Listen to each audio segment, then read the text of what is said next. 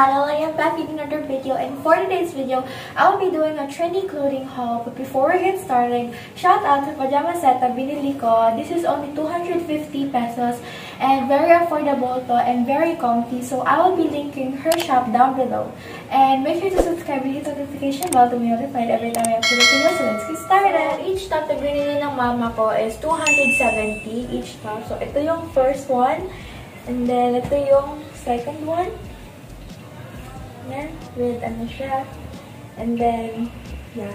So, um, kahit mahal siya konti, very affordable siya, as you. Uh, it's really pretty. And like I said, 270 to each. Um, each top. Nabili namin to sa Commonwealth Market. Ang ganda niya. Ito yung natin. Ito yung ito, ito yung second, ay, no, ito yung second to the last. Yan yung mga. Mm-hmm. Tapos, yung um, mga pants, I have two pants na i-try ko. Um, ito yung 250 to. Ito, yung, isa, ito yung isang first pants. Sobrang cute na yung first pants. Yan, ito siya. Dalawa sila. Tapos yung isa naman parang siyang beach um, design with part, um, pattern. Mukha, baka, mukha siya parang may slit sa gilid, pero covered yan. Pero ito yung hindi ko nasubali, pero 150 din to. So, ayun yung mga, so, ayun yung mga i-try natin. Yung first outfit, ayan yung may Adidas shoes. And ito yung first outfit. So, ito yung sunod ko yung pants na 350, hindi pala 250. So, ito din yung top na binili ko. Ayan. Hindi yung, ito yung, ito yung first top na nabili ko.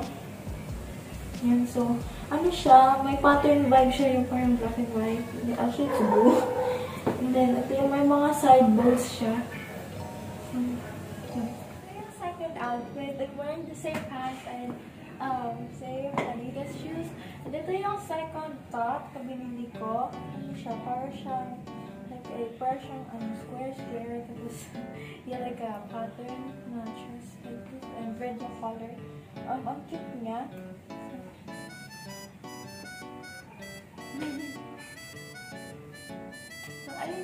yung third outfit na bili ko, uh, ito na yung other pants na binili ni mama. So, ano siya. Yun nga, may slip nga siya, pero like yung dito. And ito na yung third top na nabili namin. Uh, yan, white lang siya. Normal white lang siya. Tapos meron siyang tie. And meron siyang yung mga um, sleeves na ano, kumbaga, like big sleeves. Ano, so, ayun yung third outfit this outfit, ito na yung fourth outfit pala. So, ito na yung um, blue top. May pink, may, uh, may pink top din. Pero ito yung blue top. So, meron siya parang yung foster. I don't know system call, but yeah. Tapos, meron siya yung um, bow tie sa harap. And then, um, big sleeve, poofy sleeves na naman. And, nakaya na naman ako yung other pants. And then, yung shoes ko naman. So, ayun yung part. Outfit ka. Ito na yung um, pink top na nabili ni Mama. So, plain lang, plain ano lang siya. Wala siyang design like anything. So, pink lang siya na ganito. And meron din siyang um, yung puffy. And same um, na sinusuot ko. And then. So, yun lang.